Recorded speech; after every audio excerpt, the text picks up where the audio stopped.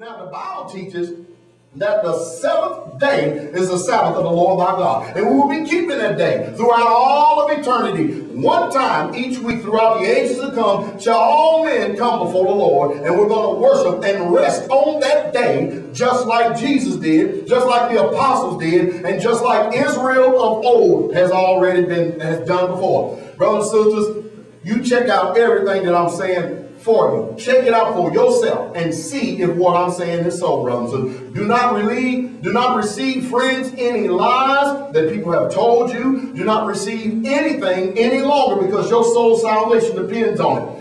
Brothers, you need to keep the commandments. We have preachers today committing adultery, divorcing and remarrying and, and, and all, I mean, fornication, pedophile priest. Uh, we have all kind of mess and garbage that is going on in this end time that we're living in now. And I tell you, if there's ever a time for people to be sanctified, if there's ever a time for people to really to fall on their face and repent and turn from their wicked ways, it is today, brothers and sisters. When Jesus told the young man, keep the commandments. And then the young man said unto him, which? Jesus said, thou shalt do no murder. Thou shalt not commit adultery. Thou shalt not steal. Thou shalt not bear false witness. Honor thy father and thy mother. And thou shalt love thy neighbor as thyself. You notice that Jesus named all the commandments that had to do with your love for fellow man. You see, there was two tablets of testimony, two tables of stone. The first set of commandments was written to show the commandments of men's love towards God. The second set of commandments is man's love towards his fellow man. And the, the two consist of the Ten Commandments, which today they have tried to change and they have tried to deceive you. And many of you have been deceived and still in deception to, to say that these commandments are done away with and they are no longer binding upon God's people. But I tell you, brothers and sisters, heaven and earth shall pass away, but his word shall never pass. Jesus said in his word in John 14, 15, if you love me, that's the Messiah, Jesus, the King himself, then keep his commandments. And his commandments are not grievous, as some would like to say that they are, brothers and sisters, but they are a blessing for those of us who understand this. And then he said, And the young man said unto him, All these things have I kept from my youth of what lack I yet. And Jesus said unto him, If thou wilt be perfect, go and sell that thou hast, and give to the poor, that thou shalt have treasure in heaven, and come and follow me. But when the young man heard that saying, he went away sorrowfully, for he had great possessions. We got the naming and claiming bunch. We got the God is going to turn your Chevrolet into a Cadillac. We got the uh, the prosperity movement. Everything out here today, and everything's about get, get, get, get, get. Nothing about give, give, give, give, give. It's all about give to them, but it's not about giving unto God. This man had great possessions. And you know, that's the trouble that is lying in our time today. Many of us, we have, whenever we start thinking about real true salvation, it's going to cost you something. It's going to cost you your whole entire life. It, it really is. It, if you're going to inherit eternal life, then you're going to divest yourself of yourself. You're going to have to deny yourself. Because if any man come after Jesus, if any man is going to follow after him, he must first deny himself. And we live in a society where everything is built upon lust. Everything is, is, is given to us by lust. And we preach lust today. If you listen to these preachers, they preach it. But the Bible teaches, brothers and sisters, that if any man is going to be his disciple, he must first deny himself. Keep the commandments. So the real message of salvation is not you, yourself, making a decision for Jesus, as Billy Graham has told us and their so-called what they call saved untold millions.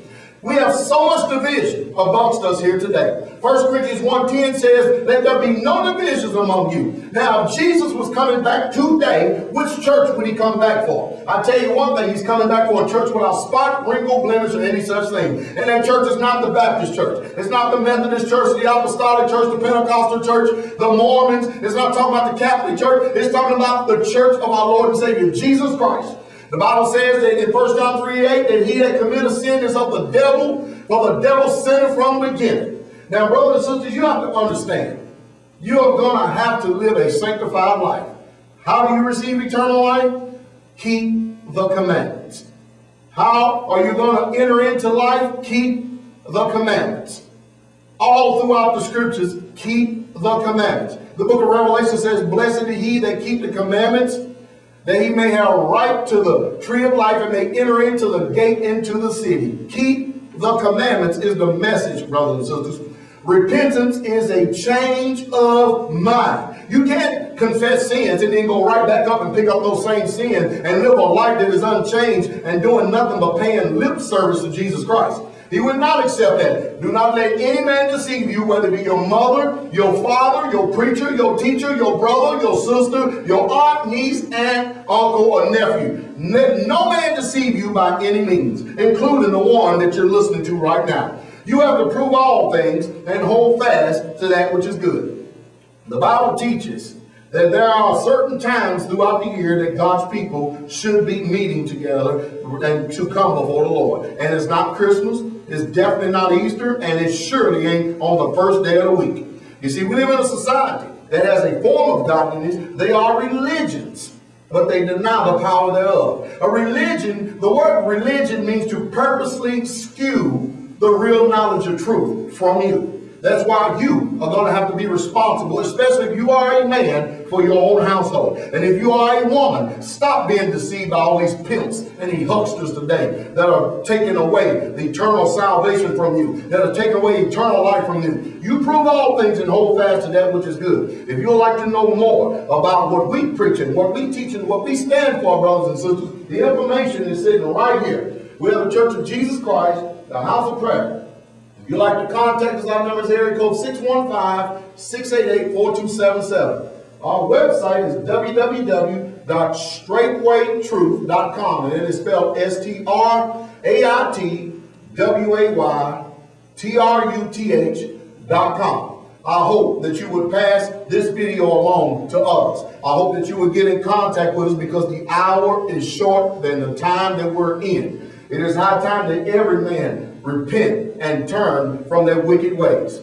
You stay away from these churches. Get out of these churches. Get away from these places. All you need is whether two or three have gathered together in my name, there he is in the midst. That refuses to preach against sin. Only thing they ever want to do is fill up the pews, fill up the congregation. They could care you could be a saint or an ain't. Brothers and sisters, Jesus Christ is coming, and that is the only name that is above every name. We're not preaching deception to you. We're not going to tell you that his name is Jesus and then turn around, come back later on and try to deceive you with some sacred name doctrine. There are many doctrines that are popping up in this hour that we're living in. Brothers and sisters, his name is Jesus. And if you want to be saved, repent and turn from your wicked way. May the Lord Jesus bless you and grant you the ears to hear is my prayer. The King is coming.